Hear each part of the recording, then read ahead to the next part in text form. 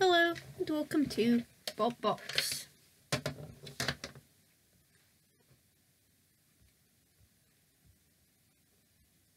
We've talked about Smidsy and its National Jaws of Doom before.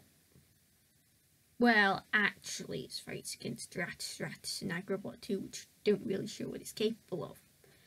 For those who are wondering, Smidsy would later be owned by Team Ace, regulars on the live circuit, and would be the basis for High Five.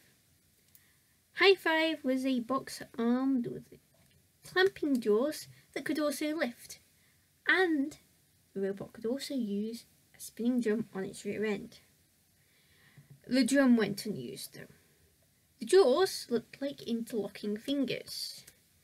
And the name comes from, well, consider yourself all high-fived. High Five made its debut in Series 3 and landed in the heat of death. Heat D, the fourth heat.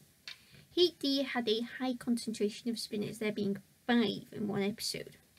High Five was lucky they only had to fight two spinners in its first fight. Horizontal Flywheel Supernova and Horizontal Bar Spinner Frostbite. There was also a lifter bot in the fight called Worm. Uh, sorry, Memento Mori, I cannot roll R's. I've tried and failed. When the battle started, the first robot that came into contact with High Five was Worm, who reversed into the grabber. High Five seemed to have lost some of its armour, it's a tiny bit out of one corner. Don't ask me how that happened because I didn't see it in the battle. But it also, more fundamentally, wasn't moving. So Supernova, having just done a number on Frostbite, caused some more damage by attacking.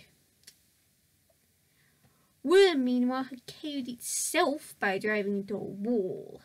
High Five were very much dead, and Frostbite were barely alive. They were moving, but... Um, the battle ended, ended and High Five, along with Worm, went out. High Five was not entered into Series 10. Another robot, an Axbot named Mr. Emoji, was entered by Team Ace, but sadly failed to get in. Shame really. Need more axes. So I can't really judge High Five as a direct result of it only having the one fight and do much in it. I can see causing Apex and maybe Pulsar some trouble if it had the chance. Those two are a horizontal bar spinner and a drum spinner respectively.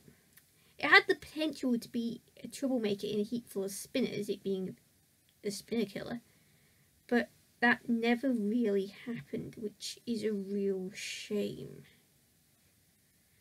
So, we're going to have to ask the question, who's going to be the subject of episode 87?